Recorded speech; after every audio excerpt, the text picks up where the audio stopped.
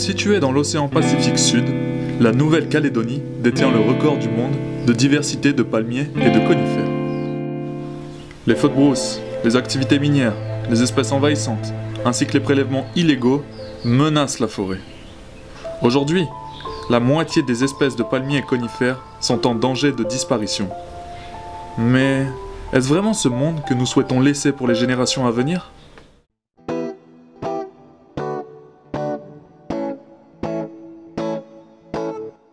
En 2018, Noé a rencontré plus de 20 pépiniéristes afin de comprendre comment produire des espèces contribue à les sauvegarder. Ces entretiens ont permis de récolter de précieux conseils mis en pratique de l'autre côté de l'île, dans le district de Borendi. Voilà, on est en train de sécher le, la bourre de coco là, pour, euh, demain on va planter euh, des graines de palmier. On va les mélanger avec du sable, sable de rivière.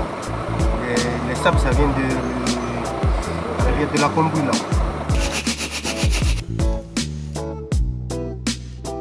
Ça, l'étiquette, ça permet à tout le monde de savoir qu'est-ce qu'il y a dans le pot, quel âge ça a, quelle espèce, tout ça. Les habitants des tribus et l'association Noé relèvent un défi de taille. Produire des espèces endémiques, c'est-à-dire des plants existant uniquement dans cette région du monde. Le nier, arbre emblématique de la Nouvelle-Calédonie.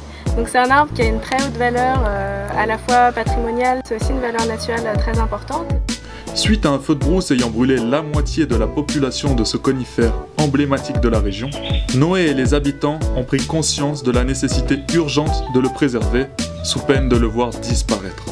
Cependant, cultiver le nier demande de la patience. Les plants doivent passer au moins deux ans en pépinière afin d'être assez grands pour être replantés dans leur milieu naturel. Aujourd'hui, le temps est venu de leur chercher une nouvelle terre d'accueil. Euh, là on cherche à une zone euh, pour replanter des petits plants de calipris, le nier. Et ça a l'air pas trop mal, il y a un peu d'ombre, euh, il y a pas mal de végétation, donc ça pourrait être une bonne zone pour replanter. Le problème si tu répares la piste, comme tu dis, tout le monde va venir, ça sera plus trop protégé alors qu'ici c'est plus discret. Faut voir que c'est. La restauration du milieu naturel est un chemin long, mais qui en vaut la peine. Préserver le merveilleux patrimoine naturel et culturel de Nouvelle-Calédonie.